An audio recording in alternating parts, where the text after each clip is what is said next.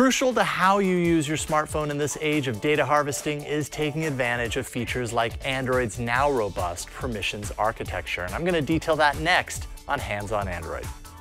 Hands on Android is brought to you from LastPass Studios. You're focused on security, but are your employees? LastPass can ensure that they are by making access and authentication seamless. Visit lastpass.com/twit to learn more. This is Twit.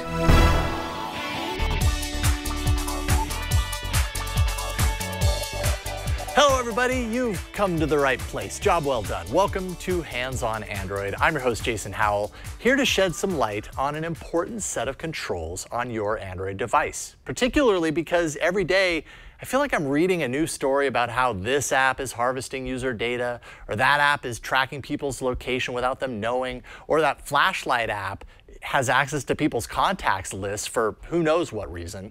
It helps to take a step back, look at the app in question and ask yourself, is there a good reason for that app to have that kind of access? And if not, then you can choose to revoke that access yourself. And I'm going to show you how to do that right now. It's time to take a closer look at permissions on Android as of Android 10, which is the latest official and widely available version of Android to date. If you want to learn about what we know about the next version, that's Android 11, you'll want to check out episode 2 of Hands on Android that published last week. Okay, let's take a look.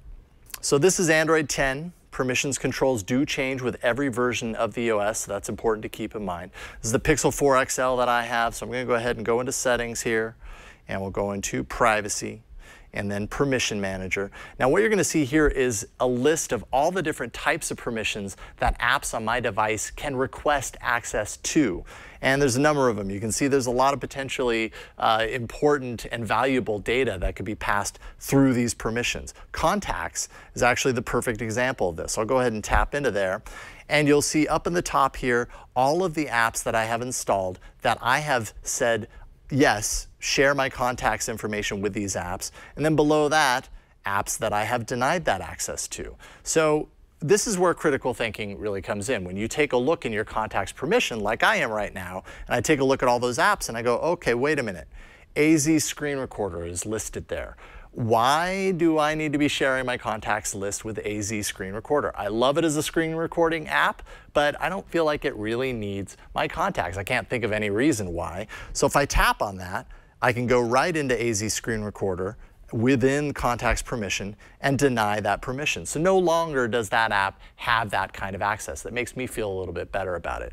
Even further, I can tap this down here to see all of AZ Screen Recorder's permissions, and I can see at a glance all of the permissions that have been allowed for it, as well as denied. These all make sense. Camera, microphone, storage, that's all part of you know, taking a screen recording and maybe doing some sort of a, a walkthrough with that tool. Contacts, not so much. So I'm happy that I made that choice. So definitely take some time, go back into that long list of permissions and really kind of jump in. You know, location is another good one to kind of take a look at, see which apps are having you know, access to your location data, SMS. They're all really valuable and worth taking the time to look at. Although be careful because in some cases you can revoke a permission that is actually crucial to how an app operates and you'll wonder why it's no longer working the way you expect it to. So really be vigilant as far as which ones you revoke and accept and all that stuff. Now that's not the only permissions section to take a look at. I'm going to go out to my main settings page here. And if you go settings and then apps and notifications and then advanced, and down here at the bottom, special app access. Only two apps in my case uh, can use unrestricted data. So that's good to know. But as you can see here, here's a list of other uh, permissions. These are maybe less data specific. These are probably more about how your phone operates. So for example, are the apps you know, optimized for your battery? Notification access is actually a really good example. If I tap into here, I can see a number of different apps that are receiving my notification flow. So if a notification comes in, it gets passed through to these apps. And I can look here and be like, okay, Android Auto, that makes a whole lot of sense. If I have my phone mounted in my car and I'm driving and I actually want those notifications to appear in the Android Auto uh, interface, I need that to be accepted, granted. Or if I don't, I could always revoke it, and then I won't be bothered by my notifications in the car anymore. Uh, Pixel Stand is another use of that. It's a hardware stand that I dock my phone in at night. Do I want my notifications to appear there? All these things that I can ask myself to kind of tailor my experience on my phone so that unnecessary things aren't happening outside of what I really am looking for uh, through my phone. Uh, picture in picture, another great example. Uh, certain apps like Duo, and then you've got YouTube, different apps that have the ability to pop a picture on top of everything that I'm doing. Different apps will require that or, or ask for it anyways, and you can decide. The power is in your hands. But again, just be sure that you're not revoking access to something that's mission critical for a particular app so you aren't scratching your head wondering why it's not working later on.